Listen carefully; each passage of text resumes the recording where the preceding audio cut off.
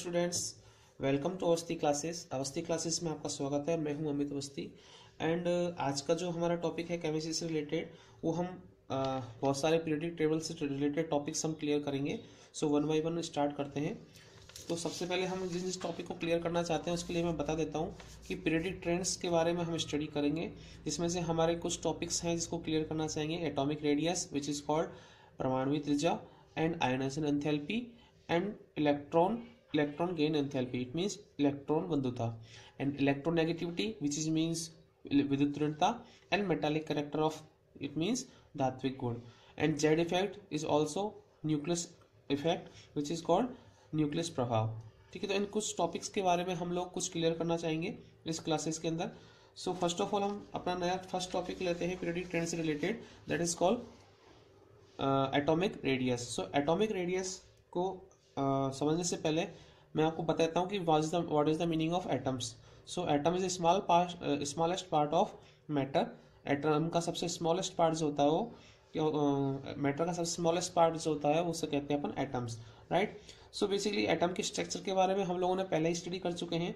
So first of all इसमें atomic radius होता क्या है? सो एटॉमिक रेडियस को समझने के लिए हम लोग सबसे पहले कहते हैं कि एटॉमिक रेडियस बेसिकली एटम्स के और न्यूक्लियस के बीच में। इस एटम की अगर मैं बात करता हूँ एटम्स के लिए बात करते हैं तो देखिए एटम्स के लिए अगर ये एटॉमिक स्ट्रक्चर हम लोगों ने अगर एक आइडेंटिफाई किया है कि इस तरह से बीच में न्यूक्लियस होता है न्यूक्लियस में प्रेजेंट होते हैं प्रोटॉन्स एंड न्यूट्रॉन्स प्रोटॉन्स है पॉजिटिवली चार्ज जबकि न्यूट्रॉन्स पर कोई चार्ज नहीं होता और उसके चारों तरफ़ ऑर्बिट होती है। दैट इज़ कॉल्ड इलेक्ट्रॉन्स में आपके चारों तरफ़ रोटेट होते हैं। सो so, न्यूक्लियस के चारों तरफ़ इलेक्ट्रॉन रोटेट होते हैं। तो वी कैन से दैट कि द न्यूक्लियस के जहाँ से अपन न्यूक्लियस होता है, वहाँ से और इस आउटर मोस्ट सेल के इलेक्ट्रॉन जो काउंट होते हैं, ये क्लाउड जो होता है तो न्यूक्लियस से आउटर मोस्ट सेल के इलेक्ट्रॉन्स के बीच की जो डिस्टेंस होती है that is called atomic radius तो एटॉमिक रेडियस के बारे में we can say that the atomic radius is the distance from the centre of the atoms centre of an atoms to outside of its electron clouds ये outermost shell का electrons है, यहाँ से इस nucleus से इस electrons cloud के outer most shell के इलेक्ट्रॉन्स क्लाउड के बीच की डिस्टेंस होती है that is called atomic radius so easily we can say that the atomic radius is the distance from the centre of an atom centre of atom का means जहाँ पे nucleus present होता है, वहाँ से और आउटर मोस्ट सेल के electrons के बीच की जो डिस्टेंस होती है that is called electro atom atomic radius so there is three type of atomic radius तो कौन कौन सी होती है? कोवलेंट रेडियस सेकेंड होती है ionic radius and third van der Waal radius covalent radius को हम कह सकते हैं सह संयोजक त्रिज्या। आयोनिक रेडियस को कह सकते हैं आयोनिक त्रिज्या and van der Waal radius का रेडियस का मतलब होता है वंडरवॉल त्रिज्या। तो basically what is the covalent radius covalent radius का मीनिंग क्या हुआ? अगर किसी भी दो एटम्स के बीच में अगर कोवलेंट बॉन्ड बनता है तो उस एटम्स की जो रेडियस होती है that is called covalent radius अब कोवलेंट रेडियस बनती कैसे कोवलेंट बॉन्ड कैसे, क्या होता है? सो बेसिकली कोवलेंट बॉन्ड के बारे में हम ये कह सकते हैं कि जिसकी इलेक्ट्रोनेगेटिविटी यानी विद्युत ऋणता इक्वलेंट होती है तो वो दोनों एक दूसरे के इलेक्ट्रॉन्स को शेयरिंग करते हैं। नंबर ऑफ़ इलेक्ट्रॉन्स जो होते हैं, उसमें क्या होते हैं? शेयर होते हैं। इट मीन्स वो इलेक्ट्रॉन पेयर को डोनेट नहीं करके और इलेक्ट्रॉन्स को एक दूसरे के साथ में शेयरिंग करते हैं। इट मीन्स इसकी इलेक्ट्रोनेगेटिव यानी इसको इलेक्ट्रॉन्स को अपनी ओर अट्रैक्ट करने की पावर भी सेम है, इसकी पावर भी सेम है। अगर दोनों की इलेक्ट्रोनेगेटिविटी सेम होती है तो इन दोनों के बीच बनने वाला जो बॉन्ड होता है that is called covalent bond और इस एटम की लाइक हम बात कह सकते हैं कि कार्बन एंड कार्बन अगर ये भी कार्बन एटम है और ये भी कार्बन एटम है तो दोनों की इलेक्ट्रोनेगेटिविटी इट मींस विद्युत ऋणता what is the meaning of विद्युत ऋणता इलेक्ट्रॉन को अपनी ओर अट्रैक्ट करने की जो पावर होती है, जो टेंडेंसी होती है that is called electronegativity so electronegativity को इलेक्ट्रॉन्स का मतलब ये कार्बन और इस कार्बन की दोनों की इलेक्ट्रोनेगेटिविटी सेम है. दैट्स वाई ये अपनी ओर अट्रैक्ट करने वाले इलेक्ट्रॉन्स इक्वल रखेंगे. तो इन दोनों के बीच में जो बनने वाला बॉन्ड होता है that is called covalent bond और इन दोनों के बीच में जो रेडियस होगी that is called covalent radius right different between covalent radius and ionic radius so ionic radius जिसमें आयोनिक बॉन्ड बनता है तो बिफोर कि आयोनिक बॉन्ड किसे कहते हैं? तो आयोनिक बॉन्ड क्या होगा? Basically it is make between two ions या पॉजिटिव या नेगेटिव आयंस हो सकते हैं। तो पॉजिटिव नेगेटिव आयंस की बात करते हैं।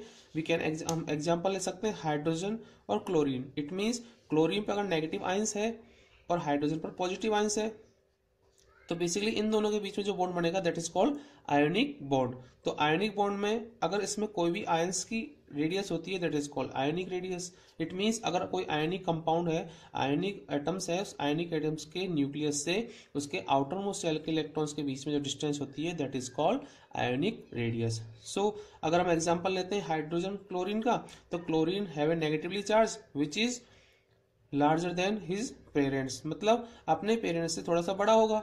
एंड हाइड्रोजन की बात करते हैं बिकॉज़ इलेक्ट्रॉन्स एक इलेक्ट्रॉन्स इसके आउटर मोस्ट शेल में आता है तो ये रेडियस बढ़ जाती है। जबकि हाइड्रोजन की बात करते हैं तो हाइड्रोजन का वन इलेक्ट्रॉन्स अगर निकल, बाहर निकलता है और पॉजिटिव आयन आता है तो उसकी रेडियस छोटी हो जाती है। सो बेसिकली इजीली समझने के लिए आयनिक रेडियस किसे कहते हैं?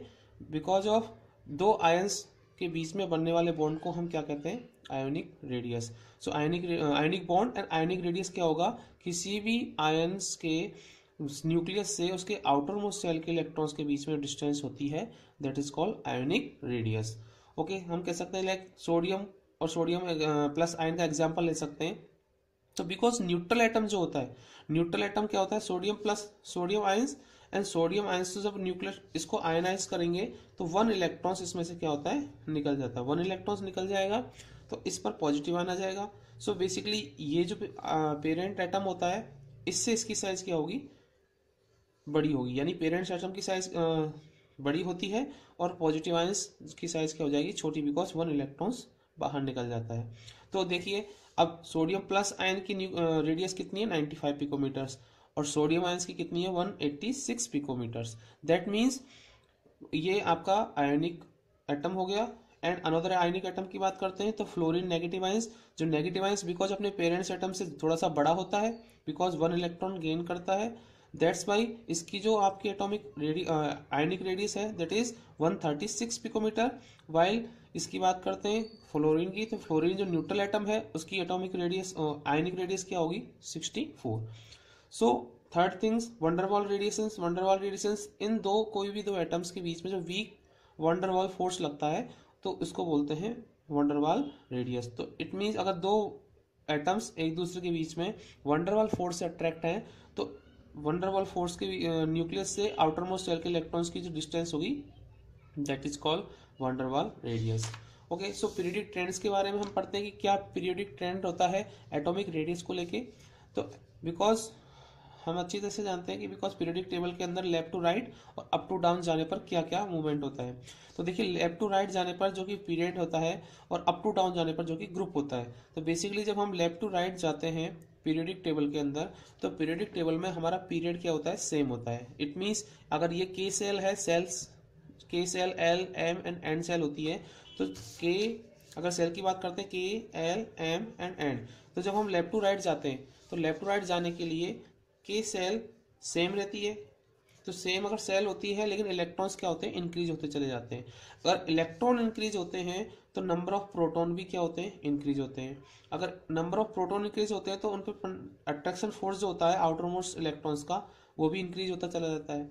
तो बेसिकली प्रोटॉन्स के इंक्रीज होने पर, ये आउटर मोस्ट सेल के इलेक्ट्रॉन्स अपनी ओर अट्रैक्ट होते चले जाते हैं। अब बिकॉज़ सेल तो वही है सेम सेल होता है सेम सेल में नंबर ऑफ़ इलेक्ट्रॉन्स क्या होते हैं? इंक्रीज होते चले जाते हैं। अगर इसमें नंबर ऑफ़ इलेक्ट्रॉन्स वन है, इसमें one number of electrons two इसमें नंबर ऑफ़ इलेक्ट्रॉन्स थ्री इसी तरह से नंबर ऑफ़ इलेक्ट्रॉन फोर तो because of effective nucleus charge यानी प्रोटॉन का अट्रैक्शन फोर्स इन पर बढ़ता चला जाता है दैट्स वाई ये जो एटॉमिक रेडियस है बाहर वाली, ये इसकी तरफ़ छोटी होती चली जाती है। तो हम ये कह सकते हैं कि जब हम लेफ़्ट टू राइट जाते हैं पीरियडिक टेबल के अंदर तो जो लेफ़्ट टू राइट जाने पर आउटर मोस्ट सेल के इलेक्ट्रॉन्स प्रोटॉन्स से ज़्यादा अट्रैक्ट होते हैं, जिससे कि उनकी साइज़ डिक्रीज होती चली जाती है। साइज़ डिक्रीज क्यों होगी? बिकॉज़ देखिए एग्ज़ाम्पल नंबर सेकंड कि अगर ये सेकंड पीरियड है सेकंड पीरियड में नंबर ऑफ़ इलेक्ट्रॉन्स लिथियम की बात करते हैं बोरोन कार्बन नाइट्रोजन ऑक्सीजन अब because number of shell same है, अगर इसमें नंबर ऑफ़ सेल अगर सपोज़ दैट के है एल एल है तो इसमें भी एल होगी, इसमें भी एल होगी, इसमें भी एल होगी। और बिकॉज़ ऑफ़ इलेक्ट्रॉन्स इंक्रीज होते चले जाते हैं, और प्रोटॉन्स उनको अट्रैक्ट करते हैं, इसकी वजह से इलेक्ट्रॉन्स क्या हो जाएगा? साइज़ छोटी हो जाती, चली जाती है तो हम इजीली ये समझ सकते हैं कि लेफ़्ट टू राइट जाने पर इलेक्ट्रॉन्स की साइज़ इलेक्ट्रॉन्स बढ़ते चले जाते हैं इफ़ेक्टिव न्यूक्लियस चार्ज भी बढ़ेगा और इफ़ेक्टिव न्यूक्लियस चार्ज बढ़ने से नंबर ऑफ़ पीरियड जो पीरियड जो होता है, वो सेम होता है, जिसकी वजह से साइज़ क्या होती है, छोटी होती चली जाती है। तो इजीली क्या क्या रीजन हो सकते हैं? लेफ़्ट टू राइट जाने पर साइज़ डिक्रीज होने के फ़र्स्ट रीजन है हमारा पीरियड का सेम होना। पीरियड का सेम होने का मतलब आवर्त। हिंदी में इसको आवर्त कहते हैं तो आवर्त सेम होता है। सेम आवर्त की वजह से उसमें कोई भी चेंजेस नहीं आता। दूसरा है effective nucleus charge effective nucleus charge का मीनिंग वही हुआ, जो अभी मैंने आपको बताया कि इफ़ेक्टिव न्यूक्लियस यानी न्यूक्लियस की अट्रैक्शन पावर इस आउटर मोस्ट सेल के इलेक्ट्रॉन्स पर कितनी है। जितना इस न्यूक्लियस को अपनी ओर अट्रैक्ट करेगा इलेक्ट्रॉन आउटर मोस्ट सेल के electrons that is called effective nucleus charge so effective nucleus charge increase होगा। क्यों इंक्रीज होगा? Because number of electrons increase होंगे। अगर नंबर ऑफ़ इलेक्ट्रॉन्स इंक्रीज होते हैं तो नंबर ऑफ़ प्रोटॉन जो कि न्यूक्लियस में प्रेजेंट होते हैं, वो भी इंक्रीज होते हैं। So number of protons increase होंगे तो that's why effective nucleus charge भी बढ़ेगा। तो इफ़ेक्टिव न्यूक्लियस चार्ज का मीनिंग क्या हुआ। आवेश जो कि न्यूक्लियस के द्वारा लगाया जाता है तो न्यूक्लियस पर न्यूक्लियस का इफ़ेक्ट ज़्यादा बढ़ेगा। तो लेफ़्ट टू राइट जाने पर साइज़ भी क्या होगी? डिक्रीज होगी। और अप टू डाउन जाने पर साइज़ क्या होती है? इंक्रीज तो पीरियडिक टेबल में अप टू डाउन जाने पर साइज़ क्या होती है? इंक्रीज क्या क्या रीजन है साइज़ इंक्रीज होने के? फ़र्स्ट रीजन वही पीरियड क्या होगा? इंक्रीज अब अप टू डाउन जाने पर पीरियड इंक्रीज हो रहा है। ये first period second period third period fourth period it means ये सेल की जो सेल्स होती हैं नंबर ऑफ़ सेल्स ये भी इंक्रीज होती है। अब इलेक्ट्रॉन्स के बढ़ने के साथ साथ नंबर ऑफ़ सेल भी इंक्रीज होती है. दैट्स वाई ये इफ़ेक्टिव न्यूक्लियस चार्ज क्या होता है? कम होता चला जाता है. बिकॉज़ इसकी जो प्रोटॉन्स होते हैं न्यूक्लियस में होने वाले जो प्रोटॉन्स हैं, उनकी अट्रैक्शन पावर कम होती चली जाती है because electrons outermost shell का जो इलेक्ट्रॉन्स है, वो दूर होता चला जाता है. देखिए, इस हाइड्रोजन के पास में है इलेक्ट्रॉन्स लिथियम से थोड़ा और दूर चला गया सोडियम में और दूर चला गया. सेम इसी तरह से पोटेशियम से और दूर चला गया. तो अप टू डाउन जाने पर because of outermost shell का जो इलेक्ट्रॉन्स होता है वो न्यूक्लियस से दूर होता चला जाता है। इसके लिए इसका अट्रैक्शन पावर जो होती है इफ़ेक्टिव न्यूक्लियस चार्ज जो होता है वो कम होता चला जाता है। सो so, क्या क्या रीजन हो सकते हैं अप टू डाउन जाने पर? पीरियड का इंक्रीज होना। Second things effective nucleus charge का डिक्रीज होना। It means effective nucleus charge कम होता चला जाता है। And third things outermost shell के जो वैलेंस इलेक्ट्रॉन्स हैं वो अपने न्यूक्लियस से दूर होते चले जाते हैं। राइट सो एटॉमिक साइज़ क्या हो जाएगी? इंक्रीज सो इजीली हम ये कह सकते हैं कि लेफ़्ट टू राइट जाने पर एटॉमिक साइज़ डिक्रीज होती है और अप टू डाउन जाने पर एटॉमिक साइज़ इंक्रीज होती है। क्यों? Because of these all of reasons right so basically I hope आप लोगों को एटॉमिक रेडियस के बारे में समझ में आया होगा। एंड हम नेक्स्ट टॉपिक हम नेक्स्ट वीडियो में लेंगे। तब तक आप इस वीडियो को लाइक कीजिए एंड सब्सक्राइब कीजिए। एंड अगले आने वाले वीडियो के लिए वेट कीजिए। Okay thank you students